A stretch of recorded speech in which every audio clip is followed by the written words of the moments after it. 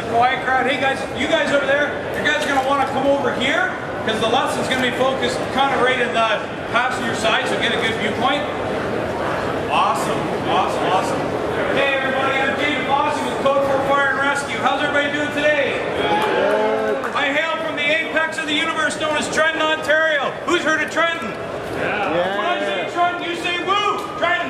Woo! Trenton! Woo! Hey guys, I'm really excited to be here today. Um, what I've got here is this beautiful 2018 Tesla Model S. Yeah, I know it looks like a, a Mazda, but it's a prototype, okay? It's to fool the competition. I want to show you guys the quick and dirty, a rapid Auto X. Okay, this is what I what I need to do for you guys today. Um, wait a minute. I'm missing somebody. I I need some help here. Um, anybody want to help me cut up a car today? Anybody? What's that?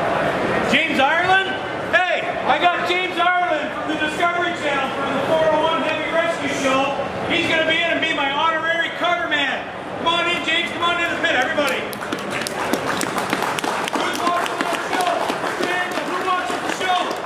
You guys better start paying attention. Start watching more TV. Awesome. Hey, James, you want to get ready?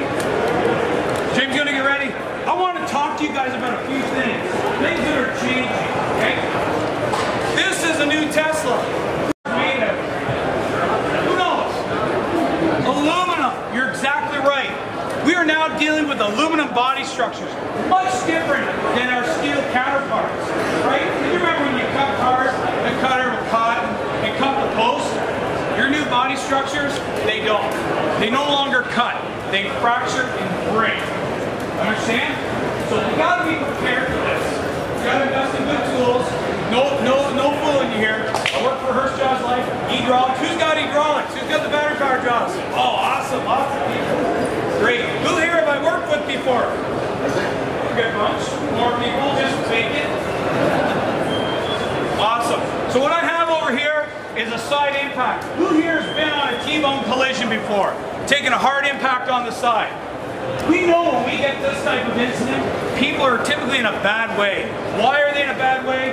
Minimal amount of protection, okay? So I'm gonna show you a couple quick things. When you deal with a Tesla Model S, one of your things, you best practices is chalk and block the car. Block the wheels and stabilize the car. Next, get to the 12 volt cut loop cable. Who's heard of this? Awesome. If you haven't heard about this, I'm going to explain to you what that looks like, okay? And it looks like this. If you can't pop the hood, you can't get to it. I'm going to show you a quick and easy way to gain access under your engine compartment. It looks like this, hopefully.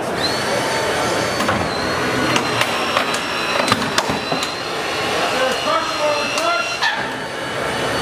Hit the hood. Good. Now we're here at this point. Simply, ah.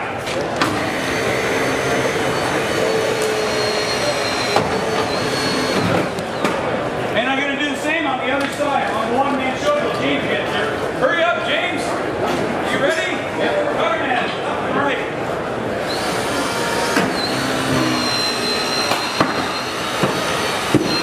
I'm squeezing this to get a gap. Thanks, bud.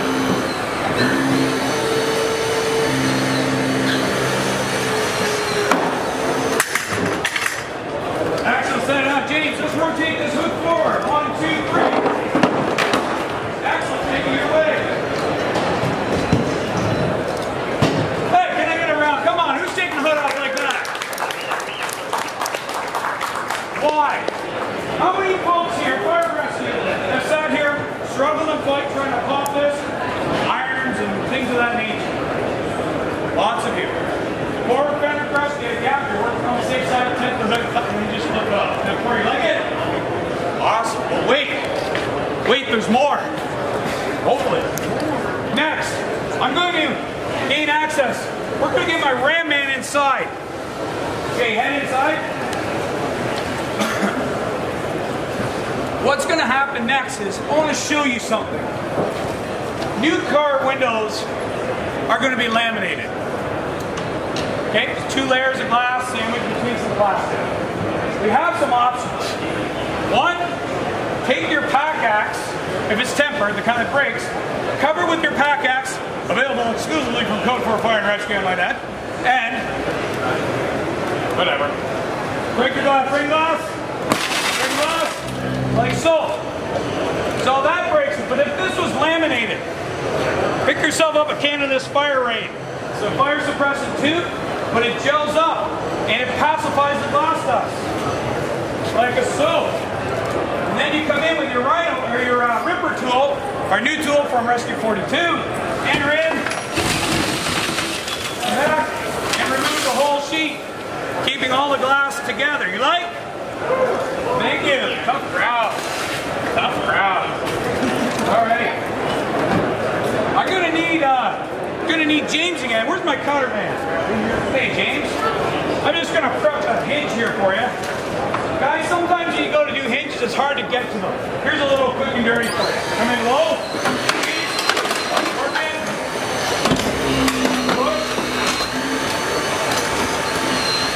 Work it. My hinge is open. Like that. You like? I Was I looked at it look good? okay. It's all about looking good here. We're gonna do these. Come in here, we're gonna spread this out.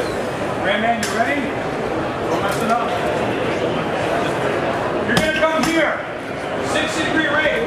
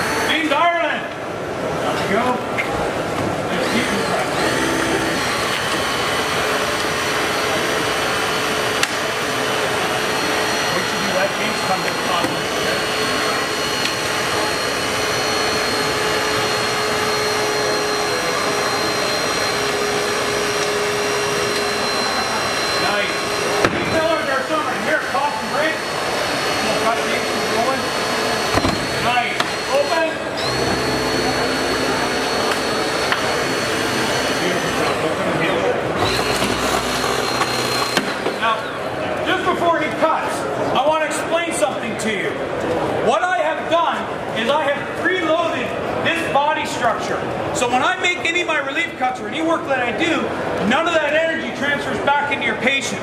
Remember what you're dealing with, a T-bone collision. So everything's crushed against it. Broken rib, arm, thigh, hip, pelvis, all the bad stuff. It's not like you got five feet of hood in front of you to protect you. You got six inches or whatever. So I have my spreader, a displacement tool. I have my ramp, a displacement tool. And what we're going to do is we're just going to keep working this car, or this door, out away from our patient, which is up front.